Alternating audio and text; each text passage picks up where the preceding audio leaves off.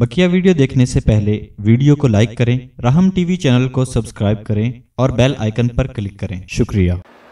اللہ تبارک و تعالی نے نفع اور نقصان کے اعتبار سے اس کائنات میں چار طرح کی چیزیں پیدا کی ہیں۔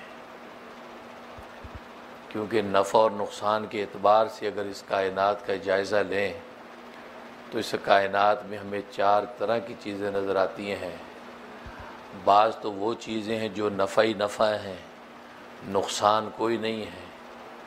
بعض وہ چیزیں ہیں جو نقصان ہی نقصان ہیں، نفع کوئی نہیں ہے۔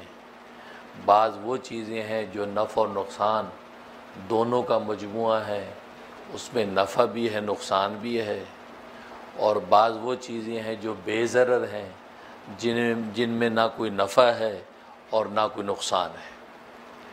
تو گویا کہ یہ چار طرح کی چیزیں اس کائنات میں اللہ تبارک و تعالی نے پیدا کیے ہیں یا تو نفع نفع، یا نقصان ہی نقصان، یا نفع نقصان دونوں ہیں، یا نہ نفع ہے نہ نقصان ہے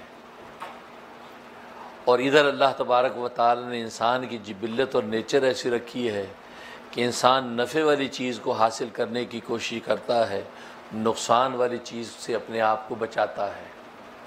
کہ جب بھی انسان کسی چیز کی حصول کی کوشش کرتا ہے، وہ دیکھتا ہے کہ اس چیز کے منافع کیا ہیں، اس چیز کے فوائد کیا ہیں، اس کا نفع کیا ہے، تو اس چیز کو حاصل کرنے کے لیے تگ دو کرتا ہے۔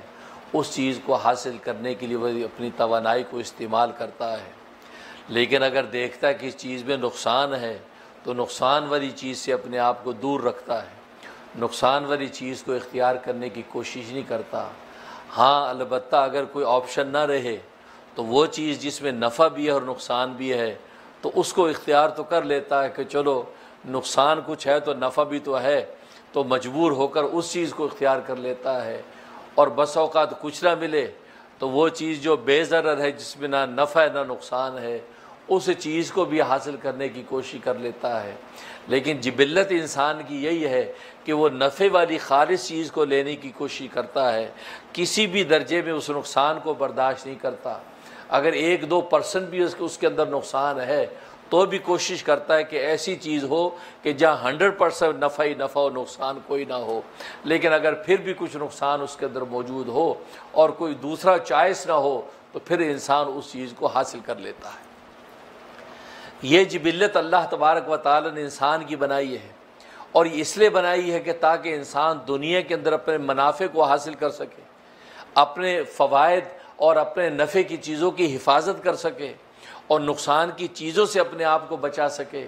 اس لیے کہ اگر یہ جبلت انسان کی نہ ہو کہ وہ نفع کو حاصل کرے اور نقصان سے اپنے آپ کو بچائے، تو کائنات میں اللہ تبارک و تعالیٰ نے تو ہر طرح کی چیزیں پیدا کر دی ہیں۔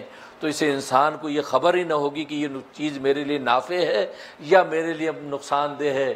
وہ نقصان دہ چیزوں میں پڑتا چلا جائے گا، یہاں تک کہ وہ دنیا کے اندر اپنی زندگی کو برباد کر بیٹھے گا۔